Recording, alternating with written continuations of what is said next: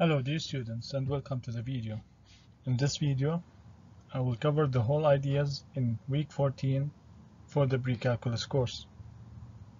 We will start by talking about the vertical and horizontal asymptotes for different rational functions. As you already learned in Algebra 2, the vertical asymptote can be used uh, can be found after we simplify the rational function that we have, then we take the zeros of the denominator. Also, we have different cases to find the horizontal asymptote when we have a rational function. In this lesson, we will connect between the definition of the limit and how to find the different asymptotes, which is the horizontal or the vertical asymptote by using a different limit notation. For example, if we want to find the horizontal asymptote, we take the limit as x goes to infinity to that rational function. The answer of this limit is the value of the horizontal asymptote. After that, we will talk about the squeeze theorem for infinity.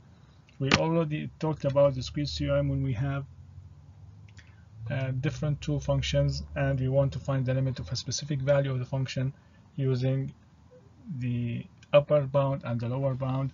We find the limit for the upper bound and limit for the upper bound at a certain point. If the two limits goes to the same point, so the limit for the middle function exists and equal to that point. But in this lesson, we will use the same technique to find the limit of different functions as x goes to infinity. After that, we will go to the average rate of change and the slope. The average rate of change represents a measurement that can provide insight into a variety of applications, from finance and accounting to engineering applications. We can calculate the average rate of change using the formula y2 minus y1 over x2 minus x1.